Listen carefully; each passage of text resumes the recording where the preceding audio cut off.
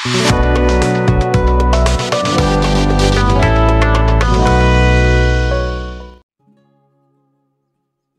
pagi dan shalom. Bapak, Ibu, dan saudara-saudari semua yang dikasihi Tuhan, selamat berjumpa kembali dalam renungan harian Toraya edisi Jumat 8 Juli 2022. Kita bersyukur karena kasih dan kemurahan Tuhan, sehingga kita masih diberikan kesehatan untuk menikmati hari yang dianugerahkan oleh Tuhan untuk kita. Sebelum kita membaca dan merenungkan firman Tuhan pada pagi hari ini, kita satukan hati kita di dalam doa. Mari kita berdoa. Tuhan Yesus yang baik, Terima kasih Tuhan untuk penyertaan-Mu di sepanjang kehidupan kami. Bahkan pada pagi hari ini Tuhan, Tuhan masih memberikan kami kesehatan, mampukan kami Tuhan untuk menjalani hari ini dengan penuh hikmat. Untuk melandasi aktivitas kami pada pagi hari ini Tuhan, kami akan membaca dan merenungkan firman Tuhan. Mampukan kami Tuhan untuk mengerti dan memahami firman ini terlebih dapat kami lakukan dalam kehidupan kami. Dalam nama Tuhan Yesus, kami berdoa. Amin. Bapak, Ibu, dan saudara-saudari yang dikasihi Tuhan, firman Tuhan pada pagi hari ini terdapat dalam kisah para rasul pasal 7 ayat 9 hingga ayat yang ke-22. Kisah para rasul pasal 7 ayat 9 hingga ayat yang ke-22. Firman Tuhan berbunyi demikian. Pembelaan Stefanus.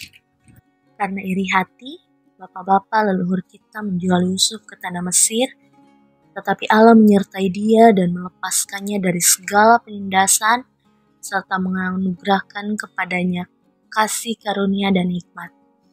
Ketika ia menghadap Firaun Raja Mesir, Firaun mengangkatnya menjadi kuasa atas tanah Mesir dan atas seluruh istana.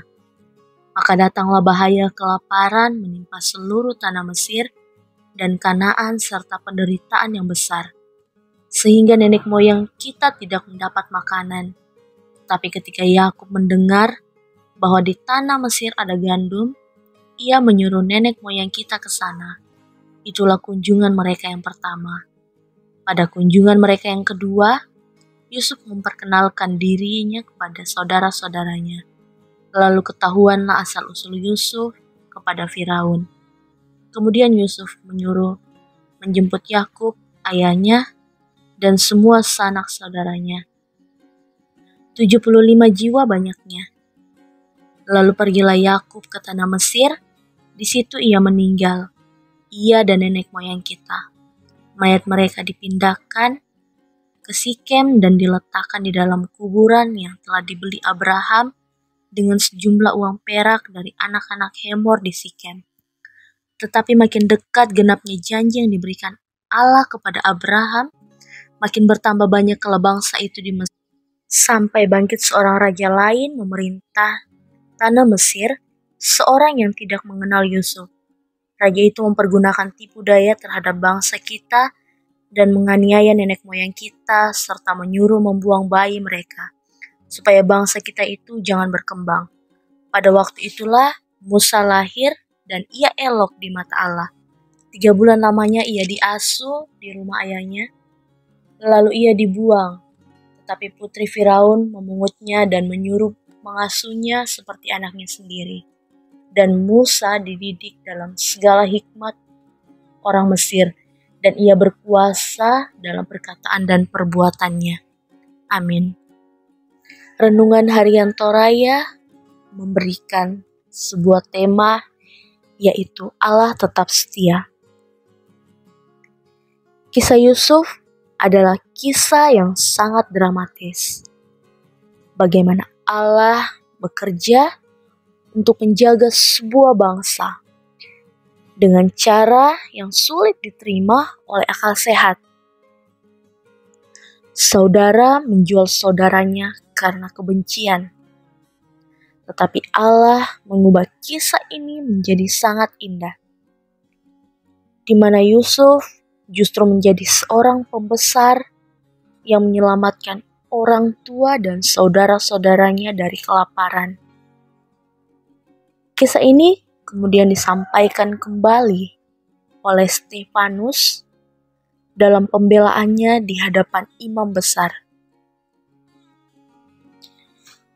Mengapa Stefanus justru mengisahkan kisah yang sangat dramatis ini? David Gusik menyebut bahwa Stefanus menyampaikan kisah Yusuf karena dia adalah gambaran Yesus, di mana anak-anak Israel menolak Yusuf yang kemudian menjadi penyelamat bagi mereka.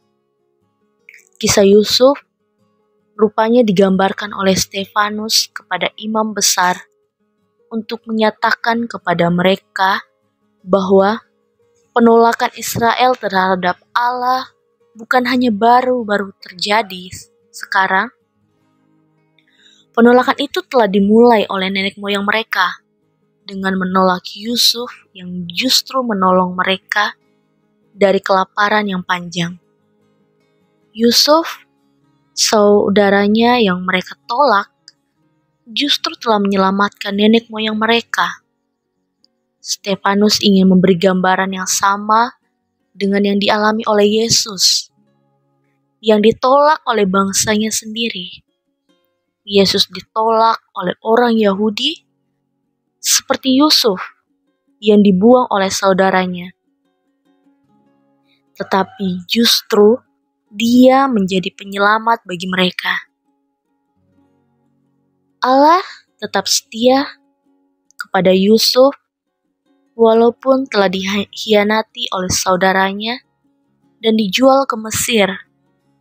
Di Mesir, Allah melepaskannya dari segala penindasan serta dianugerahi kasih dan karunia dan hikmat.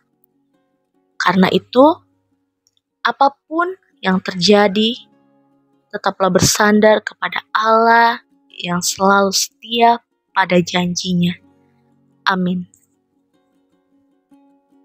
Bapak, Ibu, dan saudara-saudara, mari kita berdoa. Bapa kami yang ada dalam sorga, kembali kami tunduk di hadapanmu. Kami bersyukur atas firman yang telah kami dengarkan pada pagi hari ini. Kiranya firman ini dapat menerangi hati dan pikiran kami dalam kami menjalani aktivitas kami pada pagi hari ini Tuhan. Sertai kami Tuhan di sepanjang aktivitas kami pada pagi hari ini. Dalam namamu kami berdoa. Haleluya. Amin.